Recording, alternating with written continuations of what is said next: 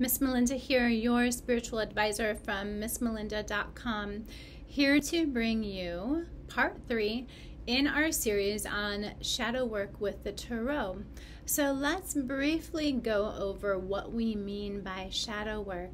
In my personal definition of shadow work, I am referring to shadow material that is buried material within our subconscious or unconscious mind that our ego has determined is not useful for us or is not beneficial to us or has determined is something we cannot handle or should not face. So, shadow material is repressed aspects of ourselves that becomes destructive and that prevents us from making decisions that are in our best interest and decisions that it can allow us more personal freedom, more personal expression, more fulfillment, more joy, and so forth. Essentially, when we repress aspects of ourselves, we are also repressing our own ability to be fully happy and fully engaged. This is a very brief overview of what shadow work is and a very brief overview of how I am approaching shadow work within this video series when we're talking about using the tarot cards to assist us with shadow work, we're talking about using the tarot as a tool to point us towards that hidden material. What is hidden from ourselves, what we hide from ourselves about ourselves, about our own behaviors, about our patterns in life, about our own self destruction, what we don't want to see or what is difficult and challenging to see about ourselves and what will be useful for us to become aware of and to see more clearly in order to gain growth and in order to gain deeper fulfillment, joy, and connection in life. So I have a few cards here and we're going to start digging in with the Emperor card. If the Emperor card comes up in your shadow work, the Emperor may very well be pointing towards control issues. The shadow side of the Emperor is all about control, controlling details, controlling people around you, controlling relationships it can point towards OCD like behavior, over analysis, over planning, over scheduling, a type A personality to the extreme.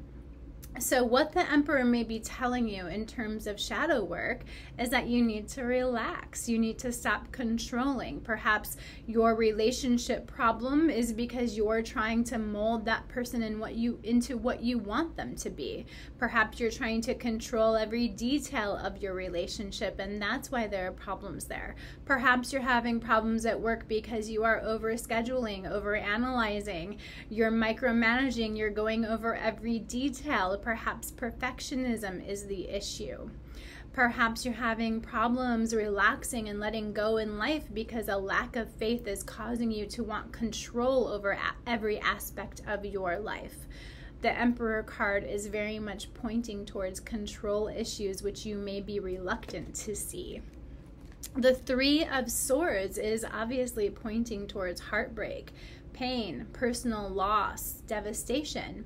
However, in your shadow work, the Three of Swords would be pointing towards pain that you are unwilling to face. This could mean that there is a relationship from the past or a loss or difficulty from the past which you haven't healed from and which you have tried to bury or forget. It could also mean that you are trying to ignore your current feelings, that you are currently trying to bury your pain or loss and um, divorce yourself from it rather than being fully present with your feelings. So, one of the big messages that would come forward with the Three of Swords is that you need to be present with your feelings. Especially your pain, you need to move through it if you want to grow, if you want to heal. The star card is our next card, and there is indeed a shadow side to the star card, and that is of idealism. With the star card, it can often mean, especially in shadow work, it would mean that we have set our ideals too high, that they are unrealistic, that they're unachievable, that we are continually setting ourselves up for failure because our ideals are just unrealistic or unachievable.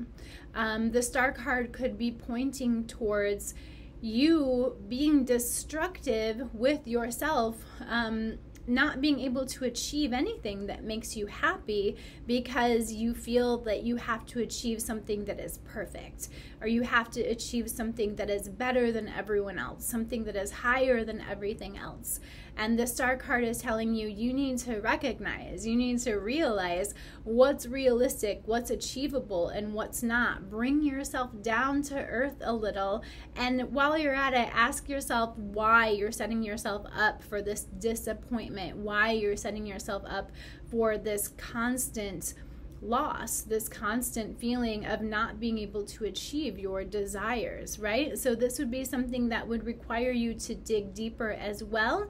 And the cards around the star card may assist you with that maybe pointing you towards the cause of your idealism or pointing you towards that idealism really um, being a destructive element in your life. The next card is the Tower card. The Tower card is often about chaos, right? It's about um, huge challenges that kind of turn our life upside down and force us to see things differently. The star card, the Tower card carries with it the message that the reason tumultuous change has to occur in our lives is for the purpose of dislodging old beliefs, dislodging old mindsets and old worldviews, shaking things up for us mentally so that we can be open, so that we can be more awake, so that we can see things more clearly. So the tower card could actually come in as a warning in your shadow work and tell you that you need to see things differently now if you want to avoid your whole life being turned upside down, if you want to avoid the universe having the need to kind of step in for you and change your mindset and put you on the right path it can also very much be pointing towards the fact that it is within your beliefs, within your mindset, that things need to change. It can be telling you that you tend to see change as a catastrophe when it doesn't have to be a catastrophe. The Tower card can be telling you that what's really happening in your life is that your mindset is changing the world isn't ending, the sky isn't falling, your mindset or your beliefs or your perceptions are simply changing, and that they need to do so in order for you to have that growth. The biggest thing I would look out for with the Tower card is that warning that it's time for you to see things differently, time for you to let go of old ideas, old perceptions, old world views so that you don't have to come face to face with some kind of major loss or wait until some kind of force from the outside comes in and transforms your life. And this is another card that will very much be informed by the cards around it. They would point towards where those changes need to take place within your beliefs or what those mindsets may relate to. The Four of Swords is the next card. The Four of Swords is about emotional and physical and mental exhaustion. And the Four of Swords may be telling you that there's something you're not seeing about this pattern of exhaustion you're experiencing. Perhaps there is a physical ailment, or perhaps you are consistently becoming inundated with stress to the point that you're incapacitated. The Four of Swords may be asking you to analyze that stress pattern more closely, to think about your relationship to stress, to see if there is a bigger issue there. Perhaps the Four of Swords is telling you you need to change your life in order to change this stress pattern. Perhaps the Four of Swords is telling you there's something bigger going on. This isn't normal stress. This isn't normal exhaustion. Pay attention to what's going on with yourself emotionally and mentally. Do you need to make a change with your job? Do you need to make a change in your life? Is there something that's perpetually bogging you down, or you're doing something that you really truly don't want to be doing? And that's why you're becoming so exhausted. That's why you're becoming so depleted. So the Four of Swords with shadow work is definitely going to be pointing towards those patterns of exhaustion in your life. And that will be kind of a clue to what you need to look at in order to dig deeper into your shadow material what needs to be changed what is really causing that exhaustion. It's something that you haven't been wanting to admit to or that you haven't been wanting to take notice of something that you have been reluctant to change and now the four of swords is here to tell you it's time to change that pattern. The eight of swords very much about shadow work. The Eight of Swords is here to tell you that you are definitely keeping things from yourself, that you have been reluctant to see your own patterns of behavior, that you've been reluctant to see your own flaws, that you've been reluctant to take responsibility in your relationships with others and in your relationship with the world around you. The Eight of Swords is saying you have blinders on when it comes to yourself, your behaviors, your patterns, and the way in which you are behaving in the world. The Eight of Swords is telling you you're refusing to see yourself for who you really are or what you really are. You're refusing to see your flaws. You're not taking responsibility. It's time to take the blindfold off.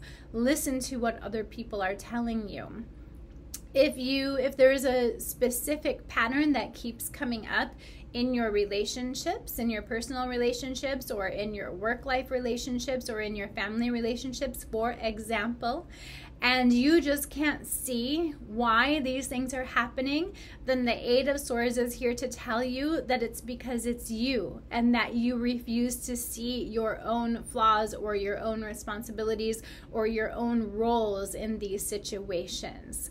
The Eight of Swords is here to say take a close look at the challenges that you continually face. Take a close look at those patterns that are playing out in your life and see what the constant is. The constant is you. How are you behaving in those situations? When you take that blindfold off and you become willing to see yourself as a full person with flaws just like everybody else, when you become willing to see those flaws and accept those flaws, that's when you'll be able to be released from your bondage. The Six of Wands is our next and last card. The Six of Wands is an interesting card, and in shadow work, it would be telling you that you think that you need to do the right thing, but what you are really doing is taking the high road. So, in other words, the Six of Wands is about you placing yourself above other people. For example, rather than just doing the right thing, you have considered what the right thing is and that you must always do the right thing. There's a difference between those two mindsets. The Six of Wands is here to tell you that other people see you as being on a high horse, that other people feel that you're putting yourself above them, that you they see you perpetually and consciously taking the high road, placing yourself above others. Instead of dealing with things on a humanistic level, instead of dealing with things on an interpersonal level or on a compassionate level, you're always thinking about what is the right thing to do and how can I take the moral high ground rather than actually dealing with things from an emotional perspective, from a relationship perspective. The Six of Wands is here to tell you that other people around you are reacting negatively towards you taking the high ground and that they see you as somebody who is placing yourself above them. It's a good time to take a look at those challenges in your life and to take a look at those patterns in your life, specifically pertaining to moral decisions and the importance that you place upon being morally right being morally accurate or being seen as ethical? Is this about how other people see you or is this because you it's really important to you to do the right thing? Are you making your decisions based on how you feel about your relationships and based on your care for the people around you? Or are you making your decisions based upon how you want other people to see you and how you want to be perceived? Is this about being right or is this about caring for others, right? Okay, be blessed, everybody. Don't forget to like the video and comment and share. Be well.